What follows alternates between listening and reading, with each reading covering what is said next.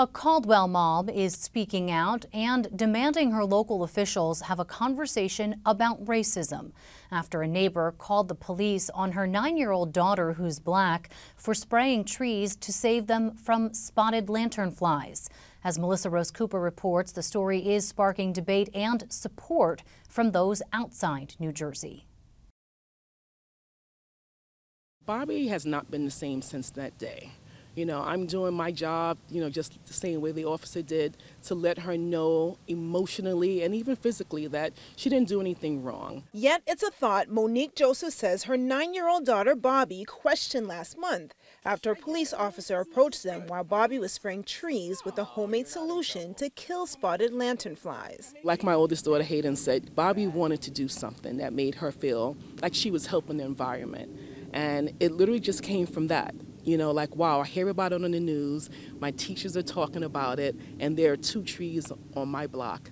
Maybe I can save those two trees. So it was shocking for Joseph to learn her neighbor, former city council member Gordon Lawshe, someone she says she has had friendly interactions with in the past, called police. Caldwell Police Fetch Warren. Yeah, how you doing? Uh, this is Gordon Lawshe. I'm at 15 Elizabeth Street. Um, there's a little a little black woman walking and spraying stuff on the sidewalks and trees on Elizabeth and Florence. I don't know what the hell she's doing. It scares me, though. Initially, when I spoke to him immediately after, my first reaction was, let me, let me ask him why did he feel the need to call. Um, in that conversation, he told me two things that do not correlate with the 911 report.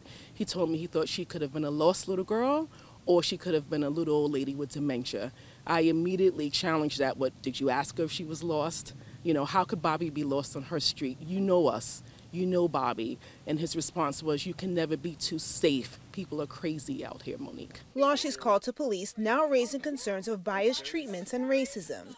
His attorney, Greg Massera, denies racial profiling was involved, but because of the accusations, he says Lawshe and his family are now getting physical threats. But the incident is drawing support from people within the community and beyond who want to make sure Bobbi understands she did nothing wrong. So when I read the story, and I saw her testimony, it immediately just broke my heart because I because these are things that Black girls go through on a day to day basis. They're they're not even allowed to be children and just explore the world where there's adults that are actually genuinely trying to ruin their childhood. So I, you know, I not even not even just ruining their childhood, but literally trying to stifle their brilliance. Dr. Ijeoma Opara is an assistant professor at the Yale Public School of Health in the Department of Social and Behavioral Sciences. Growing up as a black girl in New Jersey herself, it was important for Opara to show Bobbi black women scientists who, like her, are also looking for ways to save the environment. So she invited Bobbi and her family for a tour of the science department. I imagine how excited she must have been to go out in her community and say and save her, you know, her trees and her planet, like her, like the state, you know, encourage, is encouraging people too. So I, I didn't want her to walk away from that experience thinking this was a bad thing. I wanted to really work with the family to replace that bad memory with a really positive, impactful memory that will last a lifetime. Joseph says she's grateful for the support. I don't want Bobbi to lose her steam for STEM. I don't want her to lose her wonder. I don't want her to lose her enthusiasm for nature. And it starts where? At home. Joseph is also hoping what happened to her daughter can be used as a teaching moment so other black and brown children never have to be afraid to be at home, a place where they're always supposed to feel safe. For NJ Spotlight News, I'm Melissa Rose Cooper.